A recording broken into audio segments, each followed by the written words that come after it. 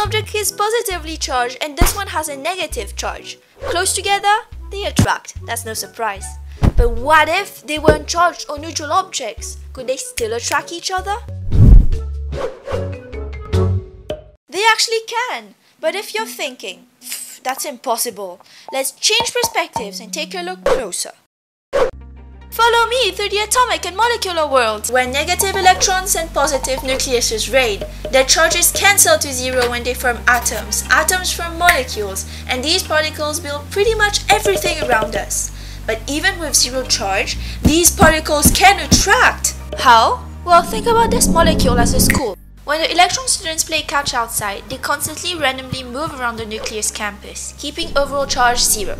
But their random movement can result in more electrons found on one side than the other. This electron-heavy area takes a temporary small or partial negative charge, and the other a positive one. Surrounding molecules get induced into this trend, and since opposite charges attract, the molecules get pulled together. We call these van der Waals forces. Correctly aligned, they pull close neutral surfaces together. That's how geckos climb the walls, and how engineers created these amazing gecko gloves.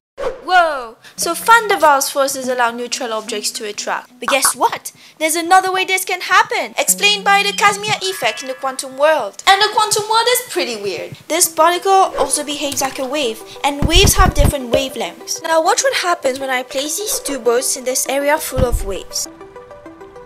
You can see that waves of all wavelengths hit the boats from outside, but only some fit between. More waves means greater force is exerted on the boats from outside than between, so the boats get pushed together.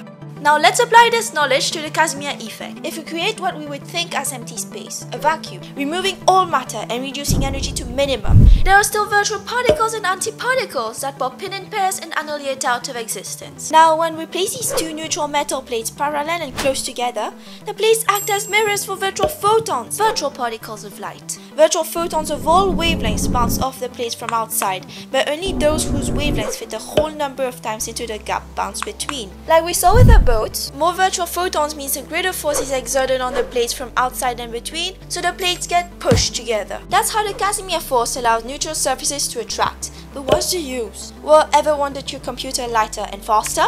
Yeah, smaller and more powerful nanochips could be the answer. But at such small scale, the Casimir force attracts the components inside, making these innovations more difficult. Hmm. So you see, whether we notice it or not, we're surrounded by strange phenomena capable of explaining seemingly absurd ideas. So whatever the situation, if something seems impossible, change perspectives, take a step closer or further, and you'll find a way to make the impossible possible.